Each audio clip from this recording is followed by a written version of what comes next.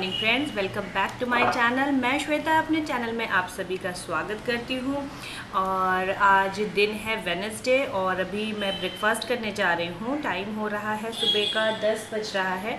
मैंने पीहू को स्कूल छोड़ दिया है और मैंने आज ब्रेकफास्ट में बनाया है ये काले वाले चने, जो कि आपको पता ही है मैं कि सैटरडे में बनाती हूँ। तो अब मैं हफ़्ते में दो दिन चने बनाती हूँ, क्योंकि ये बहुत ही फ़ायदा करते हैं और इसमें प्रोटीन का कंटेंट जो बहुत अच्छा होता है।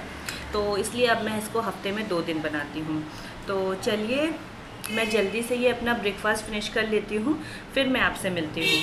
तब तक आप लोग भी ब्रेकफास्ट कर सकते हैं या जो आपके काम एक्स्ट्रा हो वो आप कर लीजिए, फिर मैं आपसे थोड़ी देर में मिलती हूँ।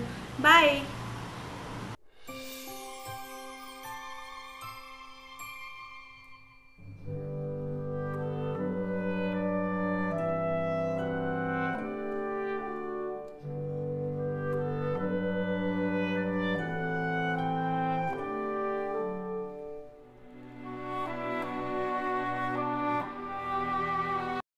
तो बस फ्रेंड्स अभी मैंने अपना ब्रेकफास्ट फ़िनिश किया है और मैं यहाँ पे अपनी विंडो पे खड़ी हूँ। काफ़ी अच्छी हवा आ रही है यहाँ पे।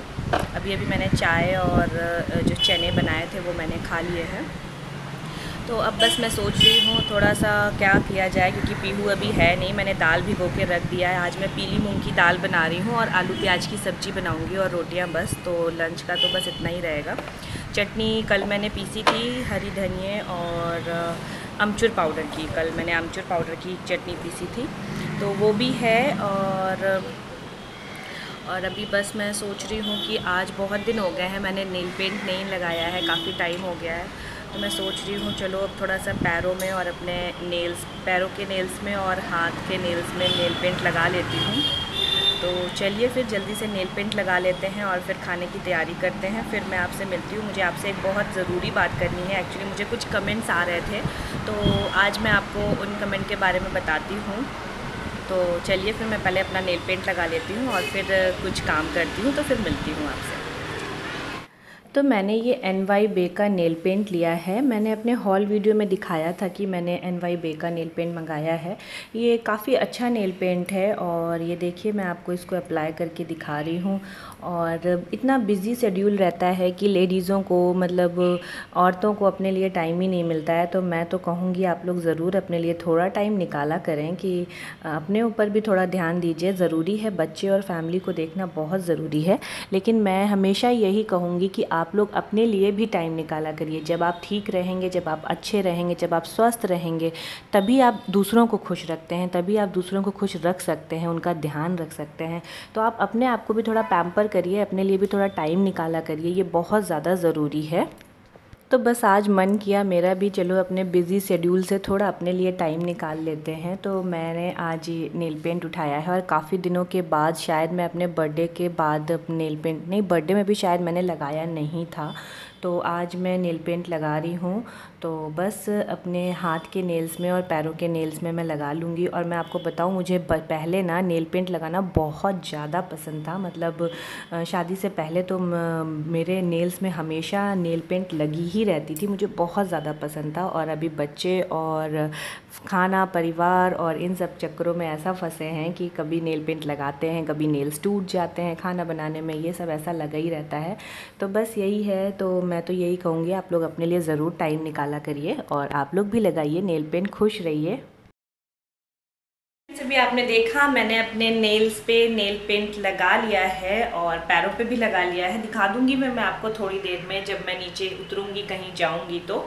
और अब मैं आ गई हूँ किचन में और बारिश अभी हल्की हल्की सी बारिश हो रही है। मैं सोच रही हूँ जल्दी जल्दी फटाफट सवा ग्यारह हो रहे हैं और मुझे जल्दी जल्दी से अभी अपना ब्रेक लंच बनाना है। लंच बना लेती हूँ, ज़्यादा कुछ नहीं बता रही हूँ, बताया ही मैंने आपको। तो जल्दी जल्दी से बना लेती हूँ, फिर मिलती हूँ आपको थोड़ी देर बाद। तो मैं यहाँ आटा गूँथ रही हूँ। उसके लिए मैंने थोड़ा सा आटा निकाल लिया है और मैं जल्दी से आटा गूँथने के बाद मैंने दाल में सीटी लगाने को रख दी है और अब मैं सब्ज़ी बनाऊँगी बाद में। जब बे, मेरी बेबी पीहू आ जाएगी तब मैं सब्ज़ी बाद में बना लूँगी। तो मैं जल्दी जल्दी आटा गूँथ करके इसको लग रख दूँगी क्योंकि रोटियाँ तभी अच्छी बनती हैं जब आपका आटा पहले से गुथा रखा हो। तो चलिए मिलती हूँ थोड़ी देर में।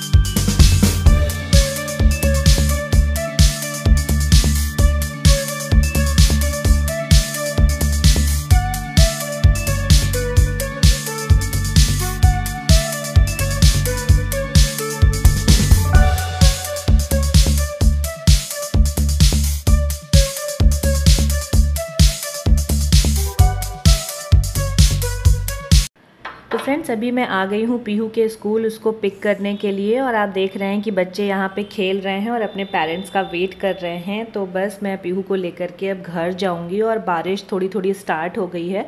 तो मैंने यहाँ पीहू को रेन कोट पहना दिया है जो कि मैं, मैंने फ़र्स्ट क्राई से मंगाया था। मैं अभी आपको उसका रिव्यू भी दूँगी और अब मैं घर आ गई हूँ। घर पर आकर के अब मैंने पहले सोचा था कि मैं आलू प्याज की सब्ज़ी बनाऊँगी बट मैंने फ्रिज में देखा तो उसमें थोड़ा सा पनीर रखा हुआ था तो मैं सोच रही हूँ चलो मैं पनीर भुर्जी बना लेती हूँ। तो मैंने थोड़ा सा ऑयल लिया है, उसमें जीरा डाल के प्याज को भून लूँगी और टमाटर को फिर सूखे मसाले डाल करके मैं पनीर को अच्छे से उसमें डाल के भूंज लूँगी। बस सिंपल सी पनीर भुर्जी बना रही हूँ अपने तीन लोगों के लिए थोड़ा सा ही और ये थोड़ी सी सब्ज़ी हम तीनों लोगों को हो जाएगी।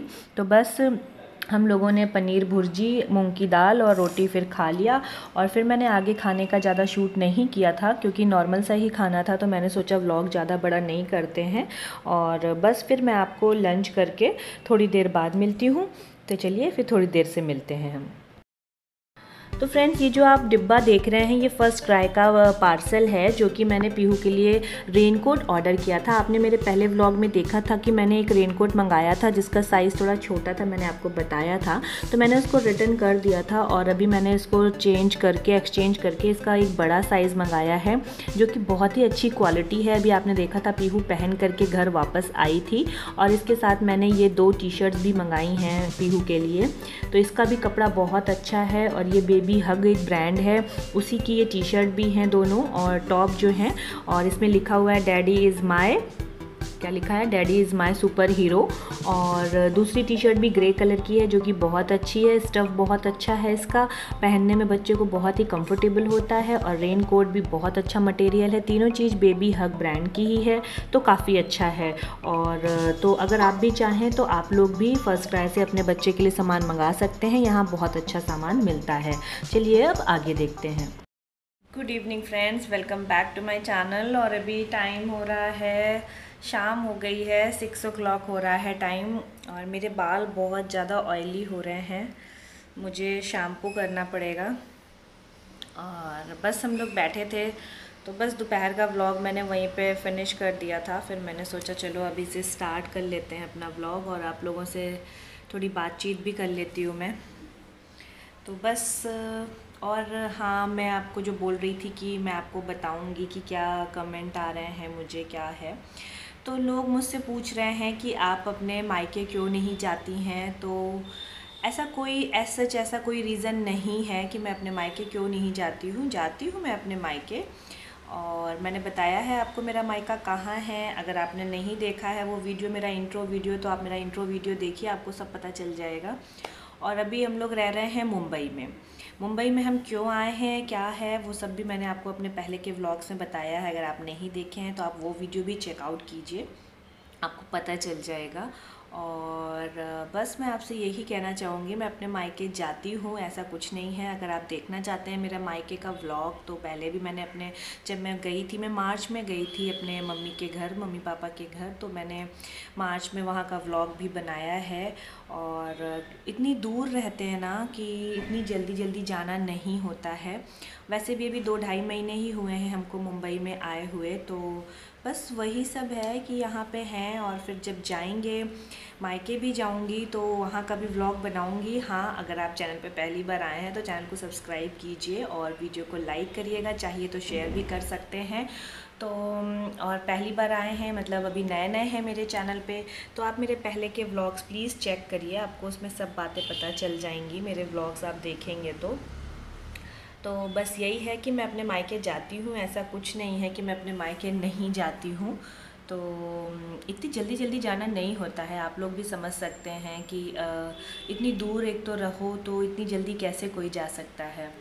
तो इतना ही है, बस आई होप आपके क्वेश्चंस के आंसर मैंने दे दिए होंगे, आपको समझ में भी आ गया होगा कि मैं अपने मायके क्यों नहीं जाती हूँ।